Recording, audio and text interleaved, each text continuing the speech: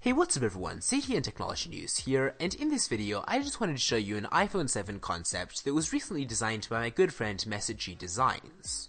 This concept is pretty interesting because it incorporates a number of the different rumors about Apple's upcoming phone, but also offers a very creative look at what the iPhone 7 could offer. So the first thing you're probably going to notice about this concept is that it shows the iPhone 7 with an edge-to-edge -edge display that even wraps around the edges a bit, a little bit like the Samsung Galaxy S6 Edge. This would allow alerts to be shown on the side, and it definitely makes the design look pretty streamlined, almost a little bit like an iPod Nano, although I personally doubt that Apple's going to do this. I definitely do expect that the iPhone 7 will have an edge-to-edge -edge display, but curved glass is still a little bit of an emerging technology, and I don't think Apple's going to put it in their iPhone 7 just yet. Now even with the edge-to-edge -edge display, I also do expect the iPhone 7 to be substantially thinner than the iPhone 6s, and that's going to be a pretty impressive feat considering how thin the iPhone 6s already is. Part of the reason Apple hasn't been able to make the iPhone any thinner just yet is due to the ports on the device, the headphone socket, and then also the lightning dock on the bottom. But the crazy thing is that Apple already has a patent for a cut down headphone socket, which would definitely help Apple achieve a size reduction yet again.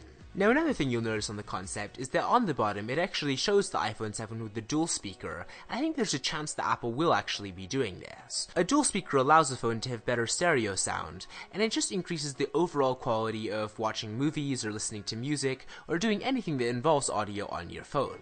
Now before you say anything, this concept does show the iPhone 7 with a 30 pin dock connector, and that's obviously not going to be the case. The iPhone 7 will probably either have the lightning connector, which Apple's used for the last few generations now, or they're going to switch to the USB Type-C charging standard, which is becoming common in Android phones and tablets. But with that said, I definitely think this concept does represent a pretty cool vision for Apple's upcoming phone, and whether the iPhone 7 actually ends up looking like this or not, I do think that it's going to be a pretty big upgrade over the current iPhone 6s and iPhone 6s Plus.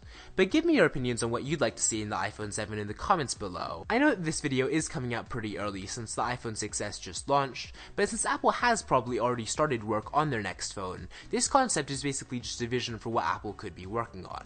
But in the meantime, definitely be sure to check out Messagey Designs by clicking the link in the description below. Give this video a thumbs up if you enjoyed it, and I will see you next time.